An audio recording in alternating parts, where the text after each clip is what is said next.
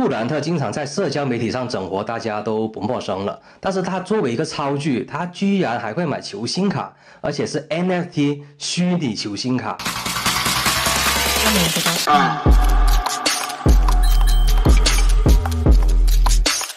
Hello，大家好，这里是酷酷。本期视频最后会有酷酷为大家准备的小礼物，那请各位小伙伴耐心看到最后。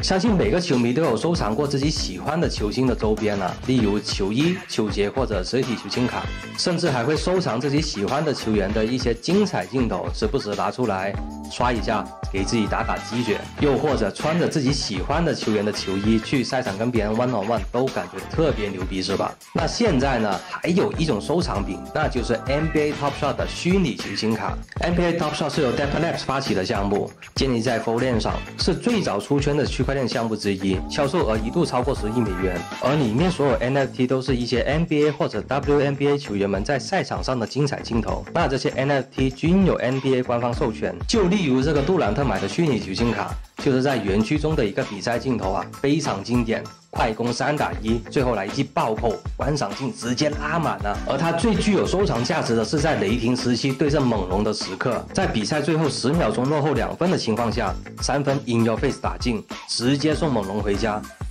那目前这张卡片都价值十几万了，而价值最高的就是这张詹姆斯身穿湖人二十三号暴扣的时刻，叫价竟高达三百三十万。相信每个球迷看到这里都有一丝丝心动了，是吧？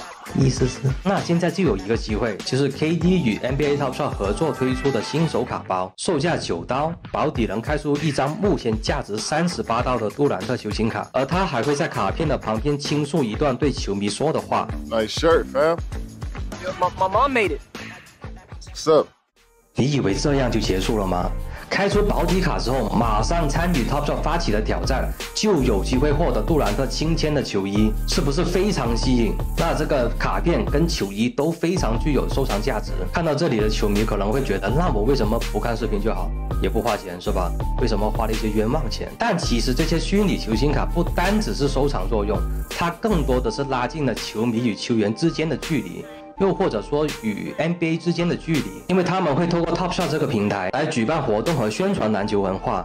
例如完成了某个活动或者收集了某张虚拟卡，就有机会收到官方邀请去 NBA 现场看球赛，拿到签名球衣或者海报等等。更进一步，还有线下的采访和互动。那作为球迷，这就是一件很梦寐以求的事情了，因为总有一两个球员能代表你整个青春，是吧？你总想去看看他们打球，那么 NBA Top Shot 就是一个很好的媒介，让大家去靠近 NBA。纵使你参与了活动，而机会都没找上你，但这些虚拟卡还是有一定的收藏价值的。就跟我们收藏球衣、球鞋跟实体球星卡一个道理，其实更多的是给自己带来精神上的勉励。那通过 KD 最新这个 NFT 交易数据来看，一万笔的交易成交额已经达到了两百万。我们也由此看出 NFT 收藏挺符合粉丝经济的，引爆当下的粉丝参与热潮。就像是最近爆火的幻影熊，每个参与者都为了周董买单，单个 NFT 的价格一度涨到地板价八个以太坊。而 NFT 产品的出现，说不定会形成未来收藏的流行趋势。好了，那么本次抽奖就是在评论区分享你喜欢的球员，分享一下为什么会喜欢这个球员。那么我们将在一周之后，一月二十九号抽出一位小伙伴，送出 NBA Top Shot 系列三的基础卡包，而得奖者将在我们微信或者电报群公布。最后，如果想了解关于更多 NBA Top Shot 的最新资讯，可以给酷酷点个赞。我们的 B 站已经有一系列的新手教程了，而我们的社区也会及时的给大家更新 NBA Top Shot 的最新资讯。